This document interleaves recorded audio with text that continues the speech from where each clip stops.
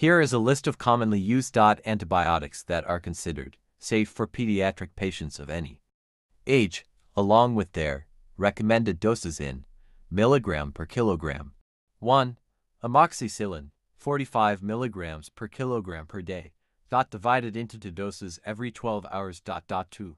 Azithromycin, 10 milligrams per kilogram on the first day, followed by 5 milligrams per kilogram. Daily for the next 4 days. Dot dot 3. Ceftriaxone, 50 to 75 milligrams per kilogram per day, divided into one or two doses. Dot dot 4. Cefuroxime, 30 milligrams per kilogram per day, divided into two doses every 0.12 hours. Dot dot 5.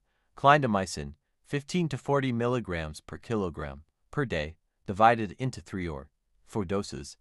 6. Cefixime, 8 milligrams per kilogram per day, dot divided into one or two